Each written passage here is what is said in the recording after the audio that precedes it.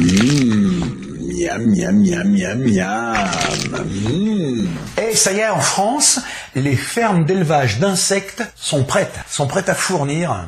Alors il y a des tas de gens qui disent ah manger des insectes.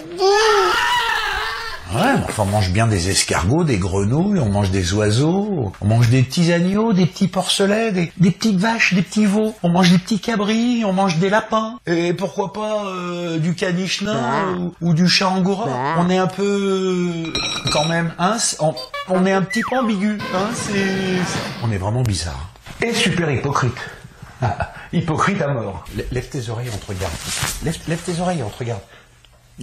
Lève tes oreilles, on te regarde. Tu, m'énerves, toi. Je vais te bouffer à midi, toi.